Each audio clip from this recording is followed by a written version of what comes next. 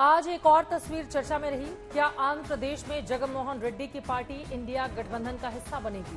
सवाल इसलिए क्योंकि आज जगनमोहन के धरना प्रदर्शन में इंडिया ब्लॉक के तमाम नेता पहुँचे। जिसमें अखिलेश यादव और संजय राउत भी शामिल थे। जगनमोहन जंतर मंतर में नायडू सरकार के खिलाफ धरने पर बैठे थे। जगनमोहन का आरोप है कि नायडू सरकार राजनीतिक द्वेष की भावना से काम कर रही है। आपको बता दें कि आंध्र प्रदेश में जगनमोहन की संपत्ति पर बुलडोजर एक्शन हुआ है। ऐसे में इंडिया ब्लॉक के नेता जगनमोहन का बचाव करते हुए नज़र आए। बुलडोजर का जो कल्चर डेमोक्रेसी में आया है, हम समाजवादी लोग कभी स्वीकार नहीं कर सकते हैं। आखिरकार इन सरकार ये कर करके क्या मैसेज देना चाहती है? सरकार क्या डराना चाहती है?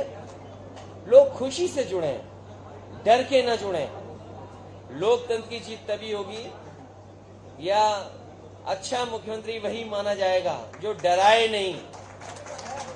और जो डराने वाले लोग हैं, वो बहुत दिन सत्ता में नहीं रहते हैं। डराने वाले लोग सत्ता से बाहर जाते हैं।